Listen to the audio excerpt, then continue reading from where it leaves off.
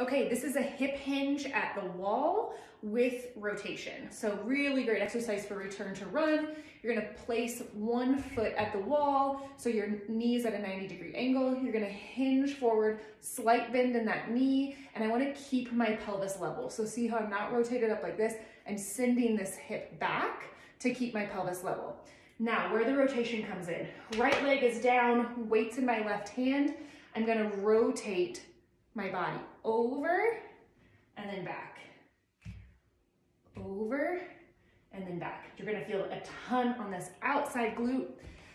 Another way you can do it, if you have a med ball or a weighted ball instead of a weight, you can hold that at your chest. I'm gonna hold the weight at my chest, but you can also just rotate your chest both directions. So looking at the wall, looking at you, keep your foot grounded don't roll to the outside of your foot. Really keep that big toe grounded.